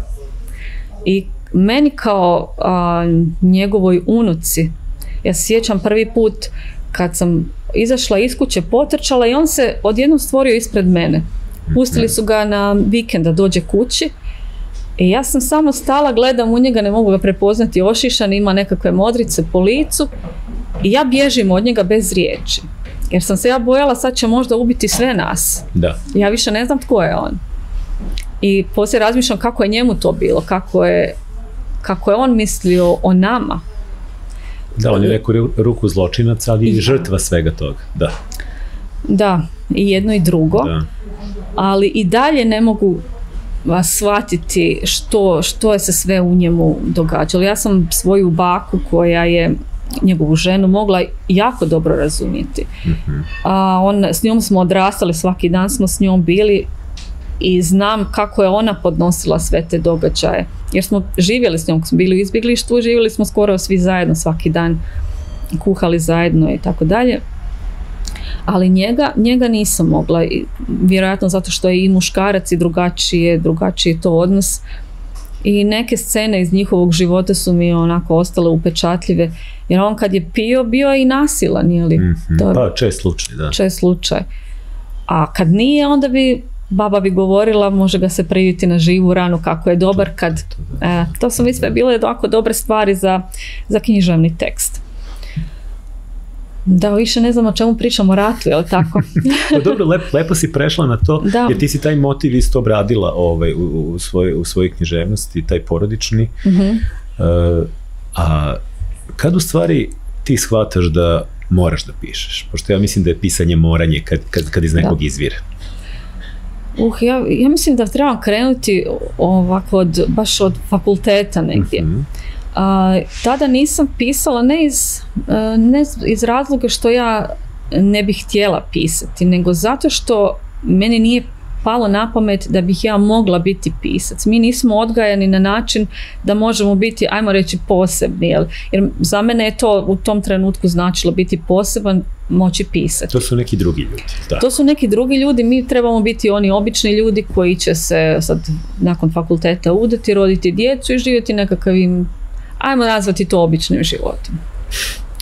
I kad sam se ja udala s 24, a, mene je bilo toliko strah da će sad to biti moj život, kao idem na posao, vraćam se, imam rodiću djecu i to je to. I već par mjeseci nakon što sam se udala shvaćam da sam trudna i još me više strah. I ja odmah upišem poslije diplomski studij, ali istog dana ja ne to mogu... je kao neki tvoj, tvoja borba protiv običnosti. Jeste. Tako. Jer sam htjela imati, uvijek sam željela imati samo svoj svijet. Dobro, jesmo, mi smo obitelj, mi smo mi, ali postoji svijet u kojem sam ja samo ja. I upišem poslije diplomski, ali nekakvu lingvistiku jer ne, ne znam uopće bilo šta mi treba. E, idem na predavanje, učim. Čak i kad se beba rodila, ja odlazim nahranim bebu, podem dva sata u čitaonicu da učim, pa se vratim i to sam sebi zadala kao moraš čak i lijepo izgledati, ne možeš sad, moraš biti ona ista žena, jer tek su mi 24, ne mogu ja sad odjednom biti neko ko ne mari za sebe, ali to dosta je tu bilo tereta na, na leđima. Ma koliko je bilo i užitka, bilo je i tereta. Um, I kad sam rodila treće dijete, dobila sam tu diplomu, završila sam ja sve što sam započela, ali shvaćam da sam to uzaludno radila. Meni to nije trebalo. Šta ja sad s tim da radim na poslu gdje radim nikog nije briga za to, niti mi to treba, nije ih briga uopće ovaj, za moje neke tamo škole koje on niko nije tražio. I počnem, odlučim da ću početi pisati mm, ma ne, ne baš kritiku, ali osvrte književne. Mhm. I ja sad pasionirano čitam, čitam, čitam, pišem, ali to je nešto što je meni dosadilo za godinu dana. A ok, mogu to napisati, to mi je više dosadno, pogotovo kad su mi počeli zadavati kao trebaš čitati ovu knjigu. Koja te ne zanima? Koja me ne zanima, ja hoću da radim šta ja hoću, ako će to biti svijet koji je moj, od kojeg nemam neke financijske koristi, daj da radim ono što hoću. Jel? I to sam prestala i odlučim da ću napisati prvu priču. Um, pišem neke priče, niko ne smije pročitati ni slova, to je toliko bilo ono, samo moje. Mhm. I napišem nekih deset priča i ostavim ih po strani, možda mjesec, dva, tri, ne sjećam se koliko. I uzmem da ih ponovo čitam. To je bilo grozno. Da. To nije ništa valjalo. I vidim da tu nema, da nema tu ovaj, da se nešto popravlja, nego to ide u smeće i krećemo iz početka. I onda su priče već dobile nekakvu drugu dimenziju, bile su mnogo bolje, ali sam ja dugo radila na njima. Nisam objavila prvu priču možda i godinu dana nakon što je prva nastala, jer sam, morala sam tu negdje vidjeti gdje e, stojim. imala nekog čitaoca? E, imam puno čitaoca. Znači šalješ ljudima da, pogledaju. E, da, to, to, me zanima. A, recimo Senka Marić, nas dvije čitamo. Spisateljica također Spisateljica, ali prijateljica. E, pa to, to je važno. Je objektivna Senka? Uh, ona je objektivna, izvrsna je urednica. Ona, bi, ona je izvrsna urednica, stvarno kod njoj pošalje tekst, dobit će baš onako komentare. Ne da je samo pročitala, nego svaka riječ. I stvarno sam je zahvalna na tome. Josip Mlakić, naš veliki mhm. pisac, on pročita, on je genije zapravo, ja ne znam kako taj čovjek uspije, on ima deset romana već završenih, e, sve što mu pošaljete pročita sada, ne sutra nego sada pošalje vam komentare. Ima tih ljudi kao Miljenko, to su oni što, što ne spavaju, što izgleda, ne znam, ne, negdje Njih dvojica su slični u tom, u tom smislu. Uh, Mlakić je inženjer koji je radio do prije možda nekoliko godina u nekoj firmi i vidi, vidite i kad čitate njegov tekst da je to mate, matematičar, mm to mhm. mora sve biti onako. Mhm. Ali, ovaj, ali izvrstan kao, kao prvi čitatelj koji će dati nekakva, nekakve upute. A osim tih stručnih čitatelja, dala sam prijateljicama, nekim običnim čitateljicama koje vole čitati, ali nisu u tom smislu obrazovane, ali mi bi zanimalo me kako čitaju, razumiju li dobro priču, mm kako ona funkcionira i tako dalje. Većina čitalaca i čitateljki je zapravo takva. Jeste. Ne čitaju te samo knjiže, uglavnom ne čitaju da, da, da. ne, ne živi se od toga, da. Ovaj, I onda sam počela objavljivati u časopisima na, na online ili u, u Ja sam se prvi put čitao kod Miljenka na Eiffelovom mostu. Jeste, tamo je objavljena prva priča o Ivana, čini mi se, Aha, baš, baš jest, da. Koja je osnova bila posle za, za, za, za roman. roman jeste. I izašla možda tek treća priča, javio mi se Sejд s ponudom da, da objavimo cijelu zbirku. Sejд Sardarević, vlasnik i urednik frakture. frakture. da. ja sad pričam kao da svi znaju. Nema veze, tu sam ja da, da. Da. da, dodam, a, a pritom, eto, fraktura je verovatno najjača i najznačajnija hrvatska izdavačka kuća, ali ti to bio šok? Bio mi je šok, e, pogotovo što sam to probudila se i pročitala negdje u četiri ujutro, sad ne mogu spavati, nema kome da kažem, svi spavaju u kući, ne mogu sad Ti bi sad buditi skakala da, da po svima kući, da, kažem, da, da. Dobra stvar je bila što je on rekao da, da će knjigu objaviti za dvije godine, jer meni je trebalo vremena da napišem priče i da one malo stanu, da se, da se ovaj, da vidimo gdje stojimo. Na, u konačnici to je bio rukopis od 30 priča od kojih smo izabrali 25. Nije čak bilo potrebe ni da se popravljaju pretjerano, jer one koje ja su vidim bile... da si ti vrlo precizna spisateljica i da iza tebe nema mnogo posla. Pa evo, trudim se da ovaj, tu sam pedantna i ovako i baš si dam vremena da radim. odmaraju na tvom tekstu, da. Iako, da, pa istina, da. Pa mislim, ja sam završila taj fakultet pa si mogu i sama Dobro. ovaj, tu malo Pa pomoći. dobro, to je lepo, da. Um, I onda kad je izašla prva knjiga, to je bilo ono kao novi svijet. Sad si odjednom, može se nazvati spisateljicom, piscem ili kako Mhm. već. Iako je meni to bilo čudno kao, ajde dobro, nemojte me još tako zvati, pustite me da vi to, ću napisati još jednu knjigu. Jer možda, Prva možda bude slučajnost, ali Da. dve već nisu. dve već nisu. E, hajde dobro, rekao, onda ćemo ovaj, to ostaviti za recepcija je kasnije. iznenadila prve knjige, jer ona je odjeknula. Ona se, čulo se za nju, onda je izašla i u Srbiji u izdanju Kontrasta. I ti si nekako, jedan put, ljudi su znali ko je Magdalena Blažević.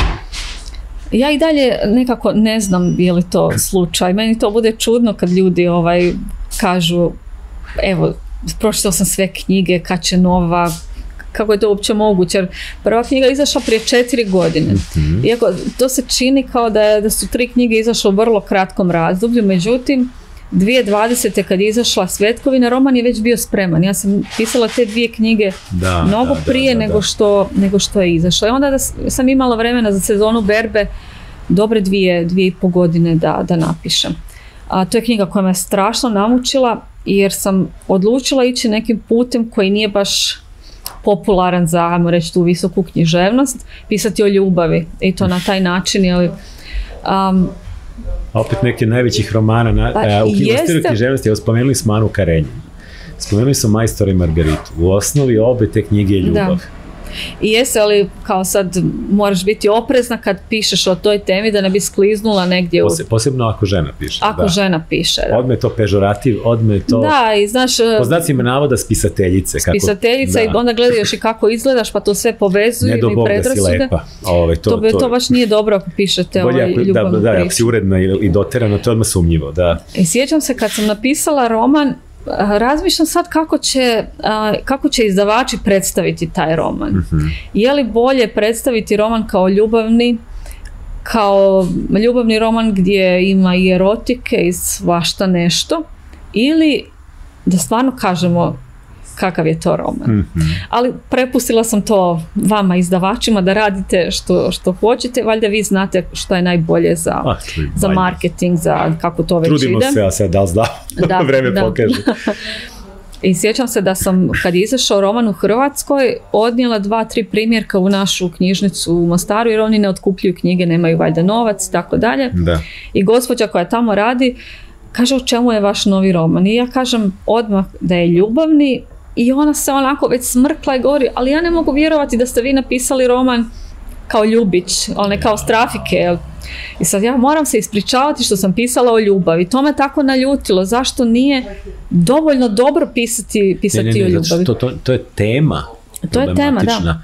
A, znači, oni će pre prihvatiti loš roman o ratu nego dobar o ljubavi, zbog Moguće, predrasuda. moguće. I onda sam se uhvatila da se ja kao ispričavam što sam pisala ljubavni roman i opravdavam se da tu ima još nekakvih drugih tema. Što i da nema, ako je ljubavni, ljubavni je roman. Ako vam se sviđa način na koji je napisan, a, način na koji je napisano odlučuje je li to dobar roman je. ili je loš, kao i sve. Tako je to.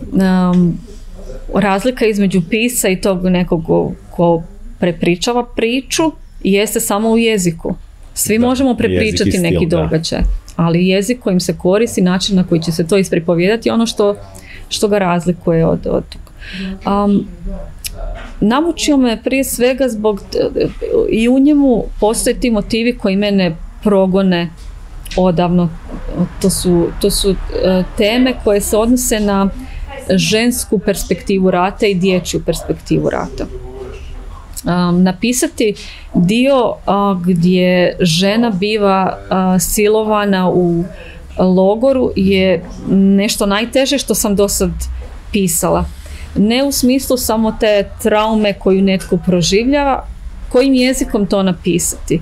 On mora biti toliko suptilan, ali dovoljno eksplicitan i naći tu mjeru je bilo jako teško. Da ne zap- zapasti u, u neku ono, ne znam kako to da nazovem, ali ako, ako preteraš, izgubit ćeš sve. Da, Točno. postaće i banalno Mhm. i neuverljivo ili će otići u onaj pornografiju neku zapravo opisivanja zločina koje isto samo možda odvrati čoveka od čitanja.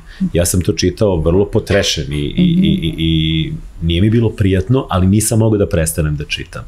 I to nije samo silovanje, to je ozbiljno zlostavljanje, to su ozbiljne, ozbiljne povrede i sve ostalo, ali taj unutrašnji doživljaj te osobe je meni i način na koji ona pokušava da pobegne u svoj u sebe samu dok to traje, meni bio možda najpotresniji od svega. I jeste, ja sam tu stranicu i pol koliko traje ta scena pisala jako dugo. I njoj sam se vraćala najčešće stalno provjeravajući je li to je li to ta mjera koja treba biti, je li to jezik, može li bolje. I na posljedku sam negdje morala stati reći više ne možeš iščitavati roman, negdje mora stati. Nikad ne možete završiti rukopis. Ja sad da uzmem, ja bi ga vjerojatno opet nešto Da, ali to je prepravljala. najbolje što si u tom trenutku ti mogla napisati. Da. Ali s druge strane, osim što je bilo tako traumatično i teško napisati, a, lik ide koja e, druge pripovjedačice iz romana mi je donio jako a, mnogo zadovoljstva u, u tom smislu pisanja priče. Mhm. Jer a, nju nisam poznavala, Unu sam mogla dobro razumjeti, mogla sam, mogla sam se staviti u njezinu kožu bez problema, u Idinu ne ali me ona odvela nekim putevima kojima kao spisateljica nisam kročila, nisam tamo išla i to je bilo uzbudljivo. E, Ne znati što će se u sljedećem poglavlju dogoditi u priči. I sjednem za, za kompjuter i osjećam fizičko uzbuđenje, zadovoljstvo što ću ja sada saznati kamo ova priča ide.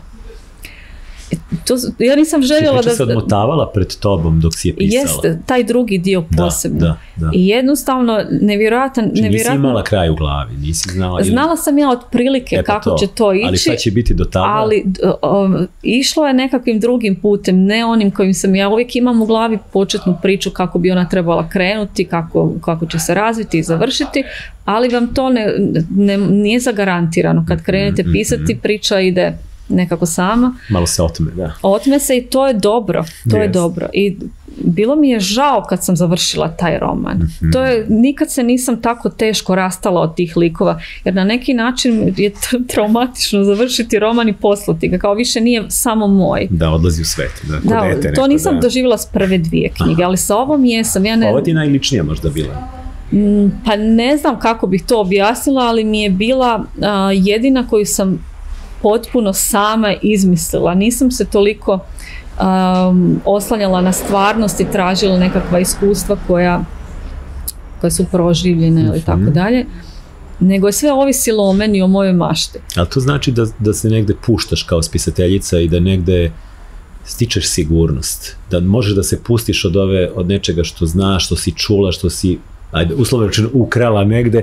Pa i- to je neka komfort zona, iako čudno zvuči da je rat komfort zona, ali ovaj, To je tvoja zona, ti si to to je nešto što je što Poznato ti je. dobro poznajem.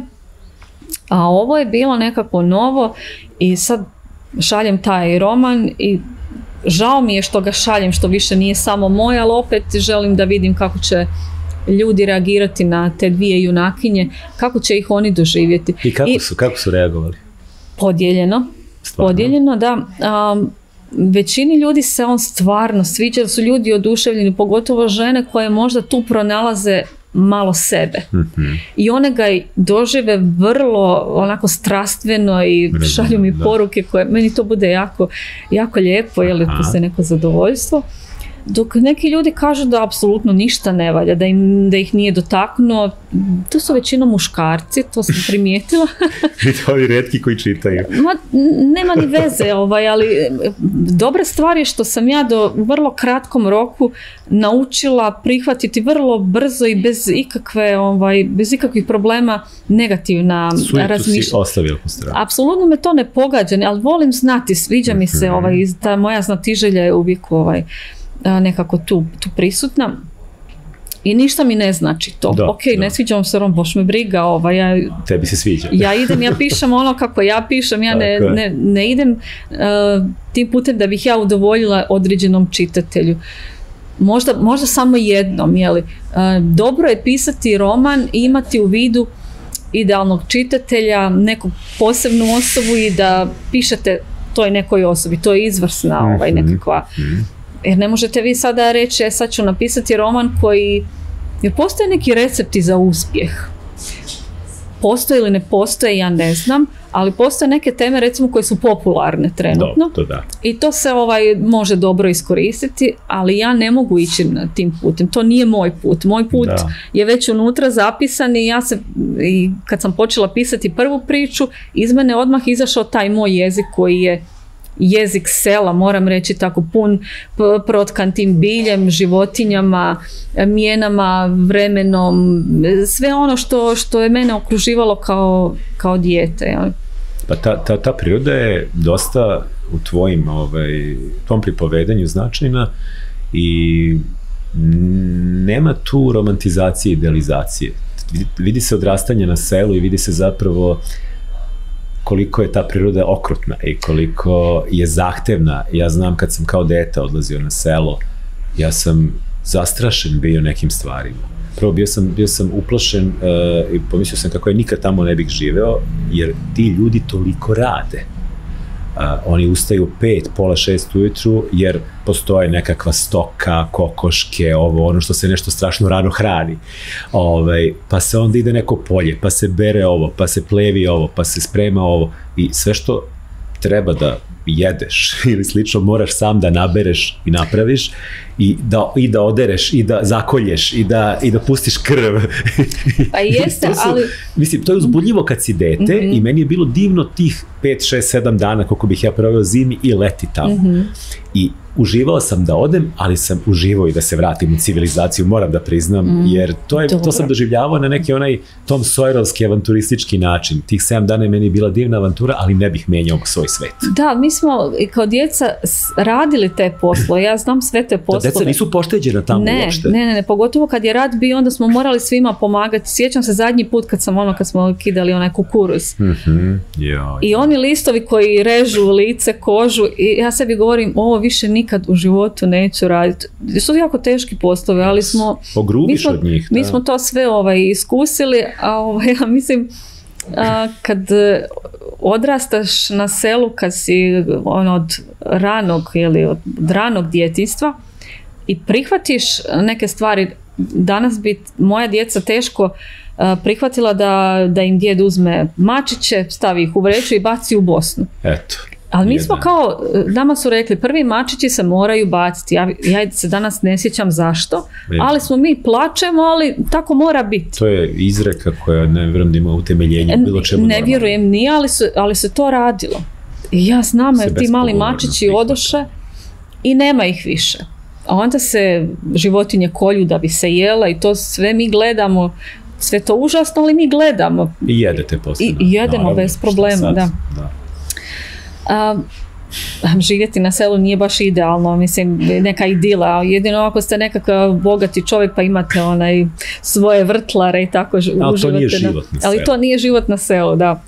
ovaj, ja ne bih mijenjala ta iskustva za ništa. Mhm. Oni su, ta su mi iskustva donijela mnogo toga i ja ne, ne nisam mogla vjerovati dok sam pisala recimo sezonu Berbe, pogotovo drugi dio, koliko sam ja asocijacija imala vezano za te biljke i Mhm. način na koji se pripremaju melemi, pekmezi, sokovi, jer ja sve znam kako se to radi. Ja sam to gledala pa ev, možda bih mogla i sama nešto ovaj, od toga napraviti. Kad se ali- čita knjiga, delo je da bi umela, ali ne znam Da. je bilo ali bilo je uvijek halo mama, kako Naravno. ono, ili baba ili tako dalje. A, taj niz asocijacija koje te biljke izazivaju u meni sjajan za, za književnost, za književne slike, za pjesničke slike koje su meni bile ovako značajne, simbolične. A, jer ja u tome vidim način da ispripovidam tako nekakve teške, teške stvari, teške, traumatične. A, nekako ih umotati, ne uljepšati, nego ih samo malo onako ublažiti i pokušati subtilnije to napraviti. Jel? I to je jednostavno moj jezik, jezik bilja, životinja, sela, te rijeke. To, je, to, su, to su mjesta i koja, koja meni daju poticaj da, da pišem. I nekako kad se prisjećam e, djetinstva, prisjećam ga se naravno pogrešno, sva su ta sjećanja pogrešna u smislu da, da nisu točna. Mhm. Ali ja se tome prepustim. Neka su, e, Tvoja su. mislim vi kad živite blizu šume, šuma je uvijek misteriozno mjesto, Tako nešto što je istovremeno privlačno, jako strašno i opasno. Mhm. I provesti dan u šumi kad ste dijete sjajno, ali Mhm. kad vas traže roditelji, I kad vas nađu. kad vas nađu. Nije uopšte zabavno. I sjećam se tih mjesta, jer spomenula sam rijeku Bosnu, Mhm. preko rijeke Bosne je željeznički most. Mhm. I sad tamo gdje bi trebali biti pragovi, na mostu su prazne rupe, je li? Aha. I sad kad ste dijete, ba, moja baba koja me uvijek vodila preko tog mosta, toliko me snažno stezala za ruku da sam mislila da će mi je slomiti, jer stalno je ponavljala, ako propadneš. slomit ćeš vrat, ubit, ubit ćeš se, jeli, kako baba govorila, da. a dolje, kroz te rupe vidite nabujalu Bosnu kako huči, onako prljava, uvijek puna smeća. Da. To su te neke ovako, ovaj, sela, sa sela ovaj sjećanja, jel, idilično. A viš kako ti, ti uopšte se ne dotičeš u svojim pričama, recimo Mostara u kome živiš već koliko 30 godina. 24 24 godine, godine. znači Da. živiš od pola svog Da, da, da. života, ali njega nema. Nema, nema. E, Jel, jel, jel sanj, kad sanjaš, jel sanjaš i dalje na selu, jel sanjaš te slike sa sela ili sanjaš i Mostar? A pa sanjam sve, to mi nema veze sa snovima. Mhm. A, ja se u Mostaru i dalje osjećam kao ajmo reći stranac i meni odgovara ta pozicija. Mhm. Nekako sam, ne smeta mi to, jel? Mhm. I mislim da ću zauvijek se osjećati na taj način. Ja volim Ti, ti Mostar. neguješ taj osjećaj zapravo. Da, ne, ne smeta mi uopće. I onda razmišljam, a, Mostar ima izvrsne pisce, svoje pisce. Mostar je kulturno jako interesantno mesto s obzirom na broj stanovnika, on je iznedrio veliki Jeste. broj velikana. Jest. I onda... A zašto? Ne znam zašto, ali oni pišu o Mostaru bolje nego što bi ja pisala. Mhm. I zašto bi ja bila tu neko ko će pokušati pisati o Mostaru, o ljudima? doći samo, mislim. Možda hoće, ali nemam uopće tu želju. Ili ćeš imati potpuno drugi pogled na Mostar, možda ćeš potpuno neki drugi način, baš ti taj outsiderski moment će ti možda dati drugi ugao nego što imaju recimo ovi, ovi Da, tvoje za sad jednostavno nisam mogla napisati niti jednu priču, niti poglavlje romana koje bi se odnosilo baš na taj grad, na to mjesto, na ljude, na mentalitet. Ja sam uvijek, uvijek u Bosni. To je nevjerojatno. To je kući u kojoj sam odrasla. Uvijek likove smještam u istu kuću. Mijenjam joj čak i raspored soba i, i pogled sa, a, s prozora, ali ja moram biti tamo. Mhm. Kao da se samo tamo mogu dobro orijentirati. Pa dobro, to je da, tu, čudno. si, tu si negde ukorenjena, utemeljena i tu si Jest. na svome. I znam gdje mi je, gdje mi je rijeka, gdje mi je polje, gdje mi je šuma. Da, ali u ovoj novoj, u ovoj novoj knjizi su ti toponimi malo drugačiji. Mhm. Ti si malo tu izmaštavala, davala neka imena. Ovaj, A, da, a, to sam namjerno napravila. ja, sam počeo, ja sam inače krenuo da tražim gde se nalazi ta reka i to i sve, pa sam, Da. mm, dobro, A, da, em, grad se zove Desa, da. selo Voloska i rijeka Rea. Namjerno Da. sam birala ženska imena Mhm. da bih na neki način a, barem se približila Italovim a, a, nevidljivim gradovima Itala Da, Kalvina. to je posveta, inače Kalvinu ima Da. i na početku ove Mhm. knjige i ti nazivi ovaj, baš grada. Zašto Kalvinu? Nevidljivi gradovi su jedna od najvažnijih knjiga koju imam na polici, koju iščitavam. Ona se ne može pročitati. Šta nalaziš? Nalazim odgovore na sva svoja pitanja. A, kad recimo pročitate jedan kratki pasus, kratki lirski odlomak, to nisu priče, ne znam ni kako ih, ni kako ih nazvati, ne znam kako ih je Calvino ovaj, označio, nije ni važno. Um, shvatiti e, povijest gotovo cijele civilizacije na temelju prikaza jednog izmišljenog ili stvarnog rada. Više nije važno postoji li takvo mjesto. Mhm. Jer ono sigurno negdje postoji. Um, pročitati priču o ženi koja se u, toj, u tom poglavlju samo tu pojavi kao netko ko je prošao tuda. Mm Je dovoljno da shvatite povijest cijelog tog naroda.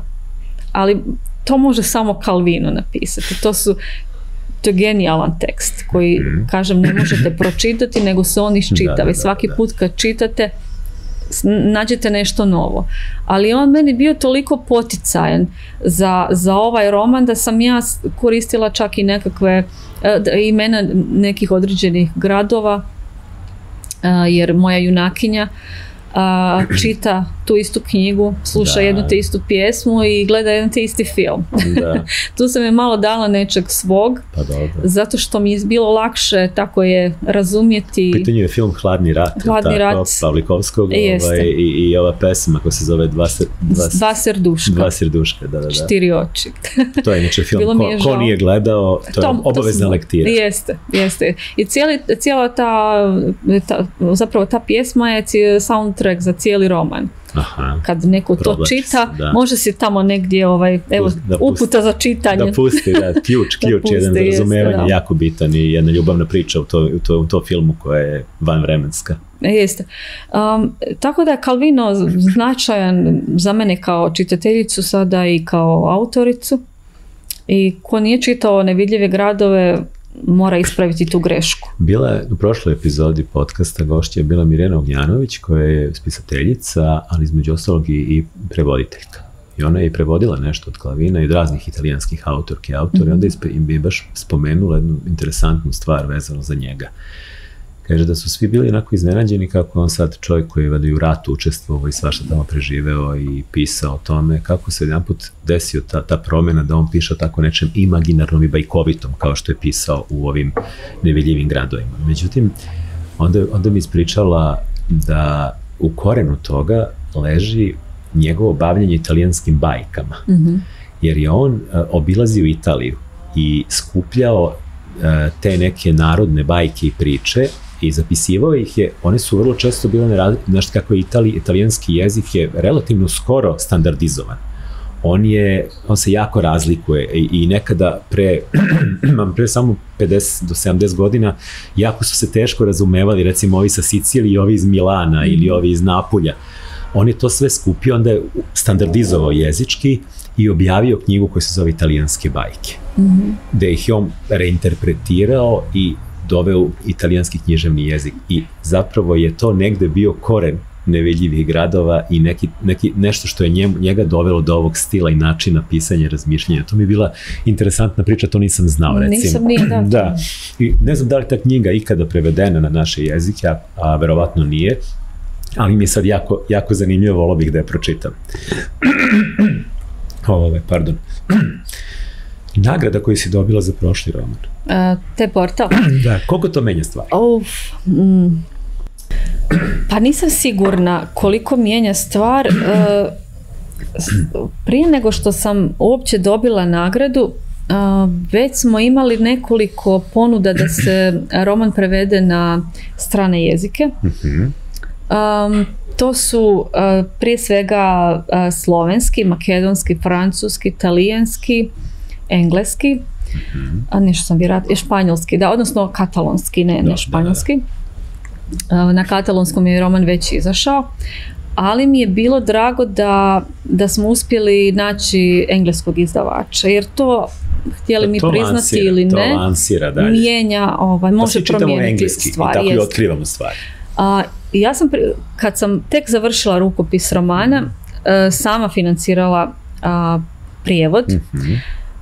Da pokušam, nisam ga mogla sama prevesti, ja sam studirala engleski jezik, ali ovog način na koji sam ja koristila jezik je potpuno drugačiji od književnog jezika i moje vještine su sve slabije i slabije. I toga sam svjesna, treba biti svjestan on ponekad ovaj toga. Um, I moja profesorica s fakulteta koja je, kojoj je engleski jezik maternji, ona je prevela uh, roman na engleski, okolnost. Anđelka Raguš, jeste. Ali je dobra stvar bila ta što sam ja mogla na neki način provjeriti ovaj prijevod, Da. čisto da vidim je li uh, ona uhvatila sav taj kontekst, je li imali grešaka i tako dalje. Mhm. I onda sam taj prijevod dala frakturi da oni raspolažu njime. I sada smo pronašli, uh, javili su se izdavači u, u Engleskoj se osnova, je osnovana nova izdavačka kuća, tri um, iskusna urednika koji su radili dugo u drugim izdavačkim kućama su se odvojili i sada su osnovali izdavačku kuću koja se zove Linden Editions. Mhm. I moja knjiga će biti prva knjiga u njihovoj Pa ediciji. Da. da. Trebala bi izaći ove godine, možda negdje Mhm. tamo u jesen. I tome se jako, jako radujem. Menula si njemački prevod. E, njemački za, svet, za svetkovinu, da. Mhm, On je izašao evo jučer. Stvarno. da, da. Uh, Izgleda, ovaj, izgleda Njemačka, jako Njemačka dobro. je ozbiljno tržište Jeste. Mhm. i to je isto velika, velika stvar što si tamo izašla. A, radujem se i francuskom, italijanskom, sve mi to zvuči ovaj, jako uzbudljivo. Pa bit će i promocija o, u tim zemljama, to je posebno Da, u interesantno. Berlin idemo u petom mjesecu Mhm. za Svetkovinu. Um, I poslije toga a, dolazi a, nagrada te portal. A, to je bilo takvo iznenađenje za mene. Ja se tome is- iskreno nisam nadala. Da sam Bila je ja- ozbiljna konkurencija. Jeste, bila je stvarno, zato mi je bilo kao idem tamo da budem sa svojom knjigom u finalu i kad Aha. sam dobila ovaj nagradu, jer nisam znala unaprijed a, da sam je dobila, što je možda sjajno, zato možete na slikama vidjeti kako plačem. Pa dobro, pa dobro, mislim, emocije. Pa da. emocije, pogotovo što je u pitanju taj roman koji je meni jako važan i cijela ta priča oko njega. Mhm. To mi je bilo ovako. E sad ne znam je li uh, to utjecalo da se dogodi ponuda za neki prijevod, jer su i prije toga Mhm. pristizale ovaj ponude, jer su fraktura kao uh, i agent, jeli? Mhm. oni su preveli dio romana prije nego što sam im ja poslala ovu cijelu verziju i nudili na Da, da, da. da. Tako da su uspjeli, radi dobar posao, ja sam Kako jako ne, zadovoljna s frakturom. Sad, hoće li ta nagrada imati još nekog odjeka, to ćemo vidjeti još. Ne škodi svakako. Pa ne škodi sigurno, da. Šta ti čitaš, gledaš i slušaš? Mm. A trebala sam se pripremiti za ovo pitanje, znala sam da to ide na kraju. A u zadnje vrijeme, evo, a, gledam rumunjske filmove, naravno. Da. Pogledala sam protekli tjedan tri filma a, Aurora, Ana Mon Amour i, i koji je treći bio, da, kad se veće spušta na Bukurešt. Um, to su um, filmovi koji kao da su snimljeni kod nas, jeli? To, su, to je ta ista atmosfera, slični likovi, um, sve ono što je naše nekako je Mhm. i tamo, je li, to je ta, I mentalitet i, jeste, jeste. Čitala sam naravno, to sam već spomenula, ovaj, rumunjsku književnost, htjela sam baš biti izložena sadržajima ovaj, dok, sam, dok sam tamo boravila. A, otkriće mi je Ana Blandijana, pročitala sam pet zbirki poezije, kao pet u jednoj, velika je knjiga Mhm. I uočila sam da zapravo a, ima neke sličnosti sa Hertom Miller jer obje pišu o um, o Rumunjskoj pod, um, pod Čaušeskim, Mhm. a, ali je poezija toliko dobra, a, izvrsno prevedena, naravno na engleskom sam čitala um, i žao mi je što, što zapravo kod nas ne mogu pronaći prijevode nekakvih, nekih od pisaca koji su mi oni preporučili.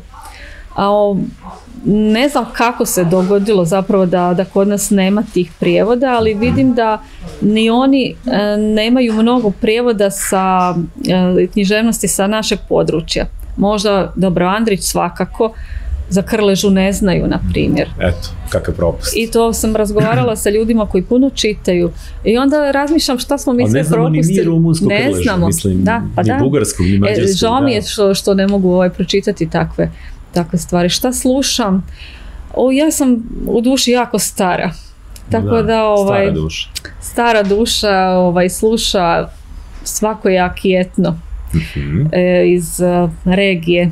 To je nešto što mene jako ovaj, Ako ste omiljeni pogađa. izvođači, izvođačice.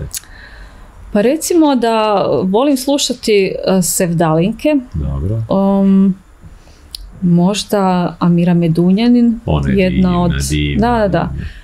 Ona imate interpretacije koje su jako dobre, na neki način i moderne, čak Jest. nekad promijeni ovaj, i riječi kad joj ne odgovaraju, Aha. kao što je slučaj sa mojom omiljenom Moj Dilbere, gdje tu žena baš ne ispada u nekako moju počinjene, onda ona Da, da, da. promijeni riječi dok pjevate onako jako dobro. Ima čitava ta generacija e, tih mlađih, hajde da kažemo još uvek, e, izvođača koji su po meni preveli Sevdalinku u 21. vek i sačuvali je.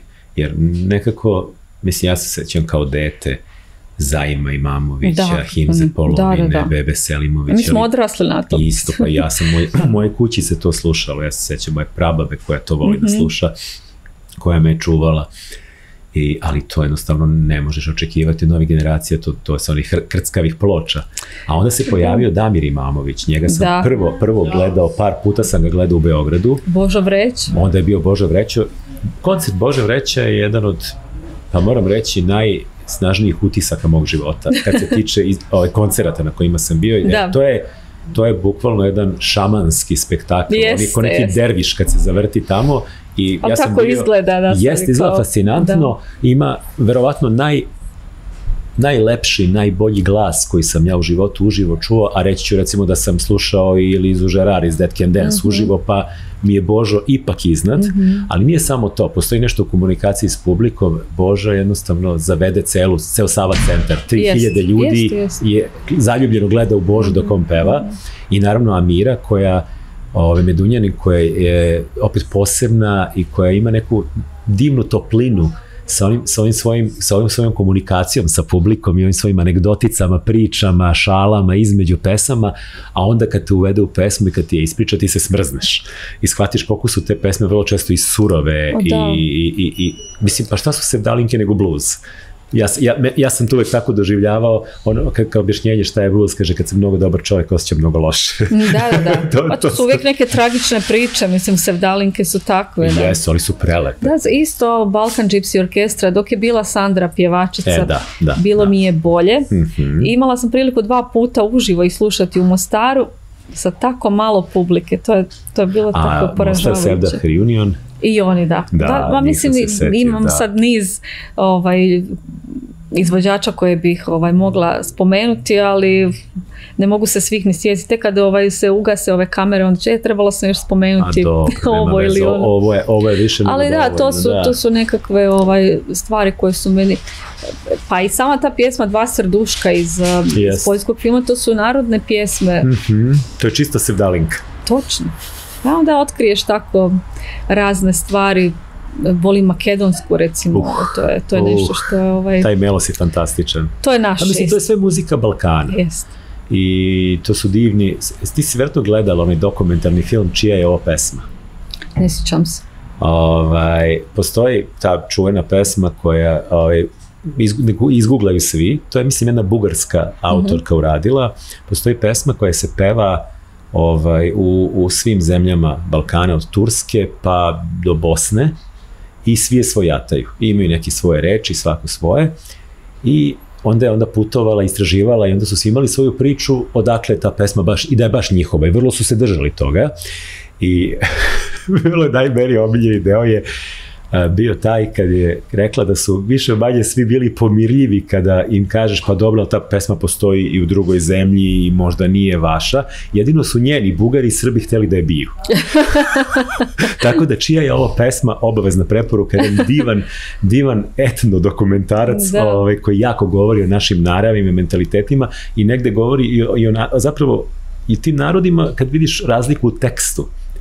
Pa Znaš, kao, Da, da. Ovaj, da li, o čemu zapravo koji narod peva, da tu istu melodiju. Pa sad, da li malo to militantnije ili ljubavnije, to već Pa ima me- veze. meni, su, meni su važni stihovi, važan mi je tekst. Ja recimo jako volim um, onu rusku grupu I Speak, ne znam Mhm. znaš li? Mislim su čak i, da, ovaj, da li, su aktualni još uvek. Jesu. Mislim da moguće su čak i dolazili ovdje, E, pošto ne imamo veliku rusku dijasporu sada i nama svake nedjelje sviraju dobri ruski bendovi ovdje. A, E, to ne znam sad ako su bili, Aha. blago vama. A, mlada pjevačica je, istovremeno i autorica stihova, ona je pjesnikinja zapravo. Jer vi kad čitate, ja sam morala na engleskom, naravno ne znam ruski, ali to je prava poezija. Mhm. I ti video spotovi kako su dobro napravljeni, to je cijela priča, to su bajke zapravo. Mhm, mhm. Nešto presavršeno. To je ono, to potpuno me inspiriraju i potiču da, da radim, da, da pišem, da istražujem. Nevjerojatno nešto. Je, m, mnogo je toga različitog što me ovaj, Dobro, pokreće, ta eklektičnost se i ali ima tu neka veza opet Jest, ovaj, između, između jest. tih. Mislim, mi smo rasli u, u Bosni, ta, ni, sigurno nismo slušali rok u kući. Mislim, to je tako. Ja, mislim, slušale su se neke narodne pjesme i taj, ono što je bilo na TV-u, folk Tako je. filigran. Tako je, tako je. Ja, Magdalena, hvala ti puno na razgovoru. Hvala Nadam tebi se što ti je bilo ugodno. poz- Divno, uvijek mi je divno u Beogradu. Ja sam tu kao kod kuće. Čim su moje knjige tu, ja sam tu s njima. Ti si naša, definitivno. Hvala ti. Hvala. Još samo malo i ustaću, odvešću te negde daleko Prati moju senku, trgni si, pusti da te vrtlog nosi Trgni si, pusti da te vrtlog nosi. Sat neumoljivog kuca. A ti stojiš! Ti stojiš! Ti stojiš!